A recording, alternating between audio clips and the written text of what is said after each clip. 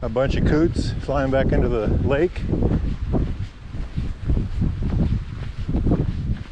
Out here at Lake Anita, April 10th. There's one fisherman passing a beer to another.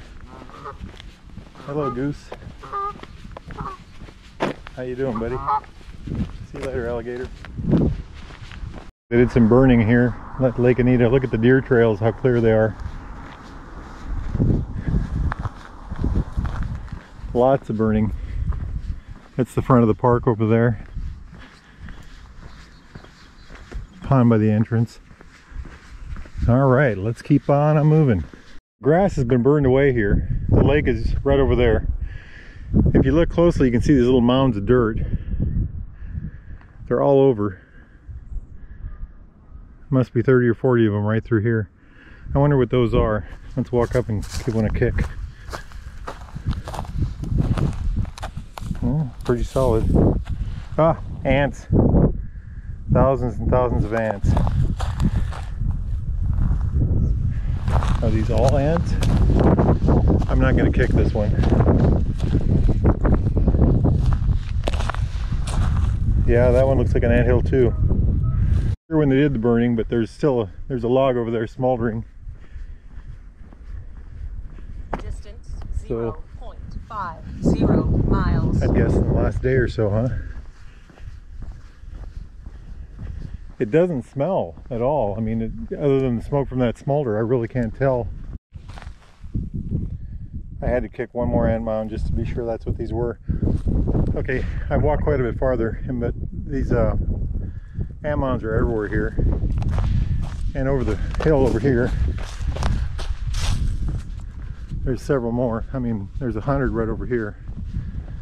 Probably another hundred back there. So I, I did not realize we had so many ants like this. All in that area, up on the hill over there. Nothing through here though. I wonder why that is. The economy must not be right for them right through there. Right through there. But correct for it right over here.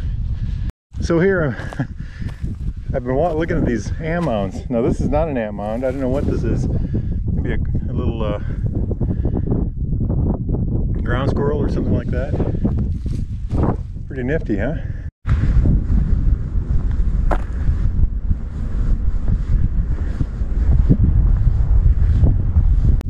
Okay, I'm on the west end of Lake Anita State Park. I think it's west. There's a whole bunch of coots over there in the water. Let's keep on going down this trail. Yahoo!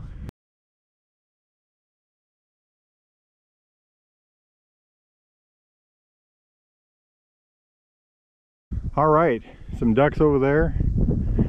I'm at the very west end again of the lake. Some more coots over here. The beach area is that direction.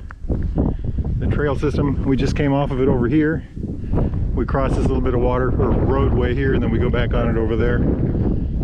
Great day for a walk. A little windy, probably 15, 20 mile an hour winds, 10 or 15 mile an hour winds, but 50 degree temps.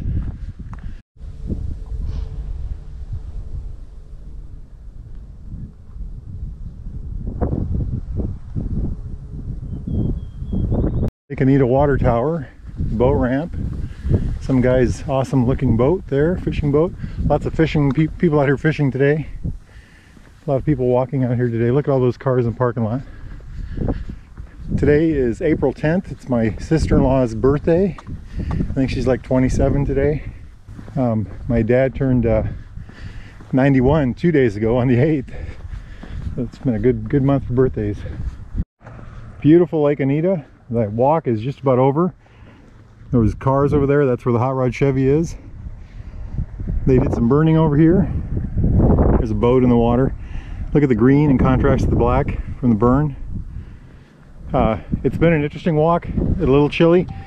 The uh, big thing I, have seen today, besides beautiful Iowa, a lot of coots and geese, but uh, a lot of people out here walking, uh, which is great. The park is, I think they're technically it's closed, but you can still walk out here. The gates are open, so they've got that part of the park shut off from foot tra or car traffic anyway. They have a new uh, boat ramp over there where that white pickup is. That's uh, really neat this year. Beautiful lake. Lake Anita is a fabulous lake. If you ever, if you want to see deer or anything like that, a good, good source of wildlife. This trail is about four and a half or five miles long, maybe, around the uh, lake. Um, you ever get a chance to come out here, do it. It's a beautiful place. Y'all have a great day. Enjoy.